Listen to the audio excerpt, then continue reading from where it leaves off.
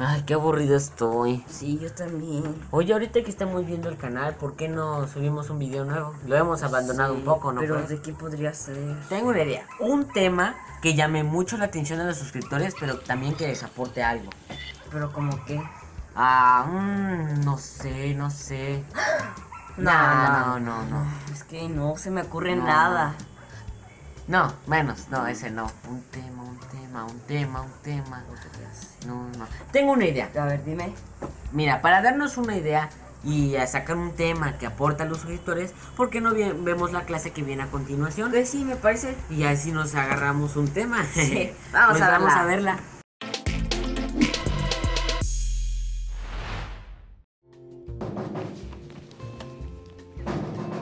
¡Ay, quién! Soy yo, la maestra Selene. ¿La maestra Selene? Ay, no, no, no, no, no, no, ya me cachó otra vez con el tiradero. Ah.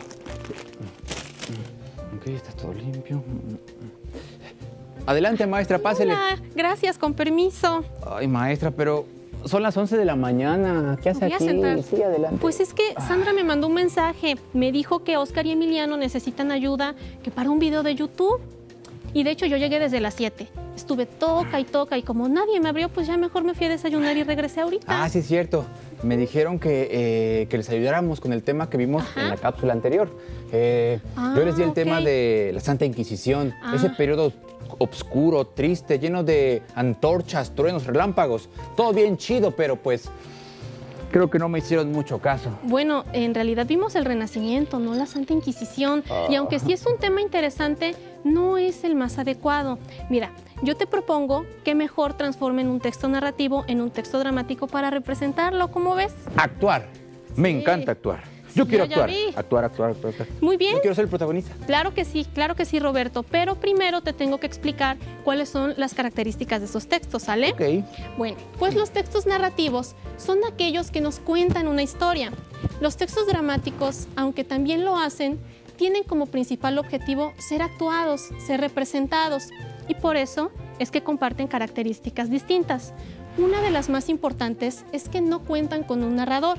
La segunda es que utilizan los diálogos como un principal recurso estructural y también las acotaciones. Oiga, maestra, pero ¿no son iguales? No, Ay, bueno, es que me acuerdo que en la secundaria ajá, lo vimos con la maestra Nicolasa. ah, seguramente sí lo viste. pero Sí. creo que yo le caía muy mal a esa maestra porque un día me aventó un hit, me pegó en la cabezota y todo por bostezar. Ay, no me digas, qué maestra. Bueno, mira, seguramente la maestra no contaba con las suficientes herramientas y esos tiempos afortunadamente ya pasaron, pero no estés triste. ¿Qué te parece si para animarte te digo cuáles son los pasos a seguir para transformar un texto narrativo en uno dramático? ¿Cómo ves? Perfecto, maestra. Me encanta actuar. Muy bien, pues está bien fácil. Únicamente deben seguirse tres pasos. El número uno es seleccionar el texto narrativo e identificar sus características. Como segundo paso, se tiene que desarrollar el texto dramático y número tres, interpretar la obra. Está bien sencillo. Por ejemplo, los mitos, Ajá. las leyendas, los cuentos de terror, el memín pinguín, eh, los hilos del Face, del WhatsApp. Hay unos muy buenos. Ah, ¿eh? Bueno, esos últimos no tanto, ¿Qué? pero los anteriores sí son textos narrativos. Ah. Pero mira, yo ya estuve pensando y creo que podemos trabajar con una fábula, específicamente la fábula del ala cortada y la zorra, atribuida a Esopo. Y ya la traigo por aquí para leerla. A ver si te gusta.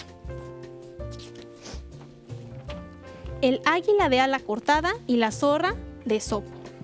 Cierto día, un hombre capturó un águila, le cortó las alas y la soltó en el corral junto con todas sus gallinas.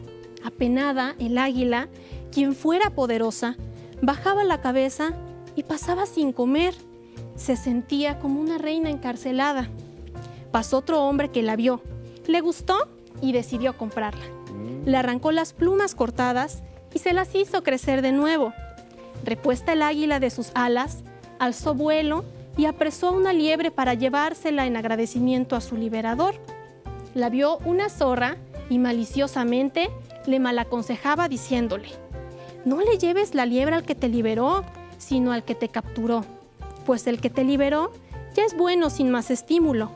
Procura más bien ablandar al otro, no vaya a atraparte de nuevo y te arranque completamente las alas.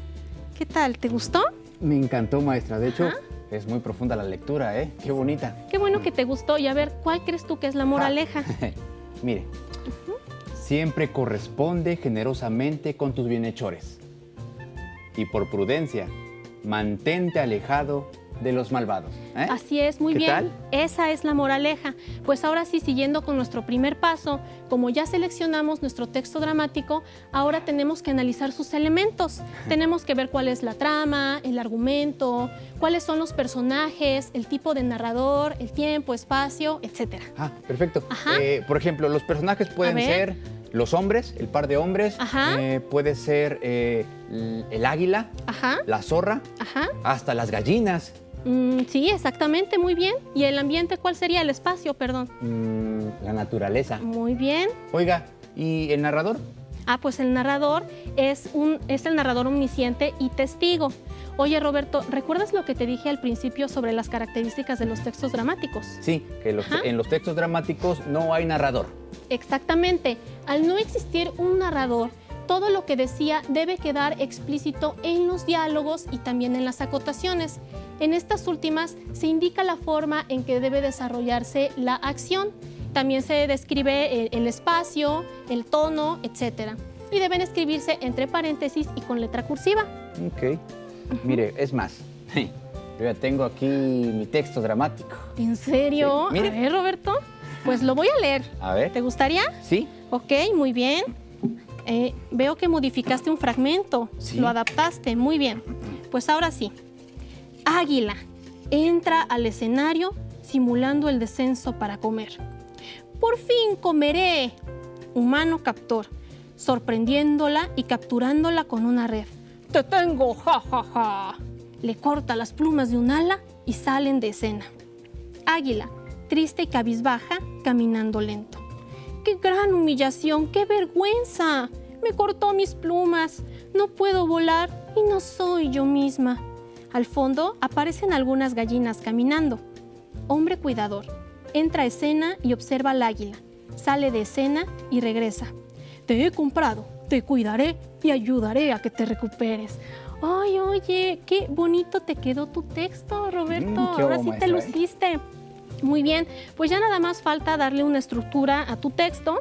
Y para eso tenemos que recordar que los textos dramáticos se estructuran en actos, escenas y cuadros. También, si tu texto es muy corto, puede tener solamente un acto. Recuerda que debes colocar el título seguido del autor, pero si le hiciste modificaciones, debes escribir la palabra adaptación seguida de tu nombre, después colocar los personajes con una breve descripción, escribir el número de acto y escena y ahora sí, colocar los diálogos y las acotaciones. Ay, es muy maestra, pero ya por favor, ya pasa el último paso que ya quiero actuar. Perdón, es que esto me emociona mucho. Pues bueno, y ahora sí, para representar la obra es muy importante estudiar el guion. Imagínate que tu sala fuera un escenario. Tendríamos que ver por dónde entrarían los actores, por dónde saldrían, qué nos puede servir de utilería. Tendríamos que estudiar las acotaciones, pero sobre todo entender muy bien las acciones para que la obra tenga fluidez. Ok, maestra, pero por favor ya. Sí, vámonos sí, a ver, pero ¿cuáles son los tres pasos que te dije? A ver, el primero es seleccionar. Ajá, el segundo, El segundo es desarrollar. desarrollar. Y el último yo me lo sé. A ver, Interpretar. muy bien, muy bien.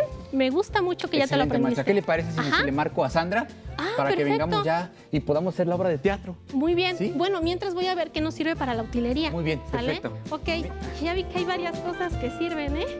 Bueno.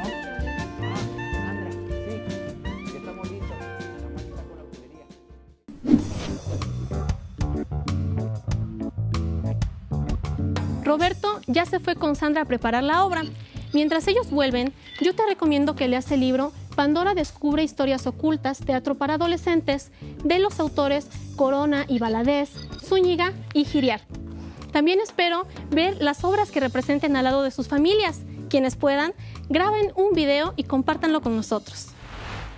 Qué interesante. La verdad es que sí, así podíamos representar algunas fábulas en nuestro canal de YouTube y a los suscriptores les podíamos dar una enseñanza, ¿no crees? La moraleja, ¿no? Bueno, bueno, es lo mismo, pero también lo podemos representar en títeres, una obra de títeres. Podríamos empezar con la fábula de Abeto y el Espino. Oye, sí, es una muy buena idea. ¿Y sabes qué? Hay que preguntarle a Elías para ver si se apunta a esto, ¿eh? Ahora mismo le envío mensaje. Sí, de seguramente nos va a contestar así de rápido.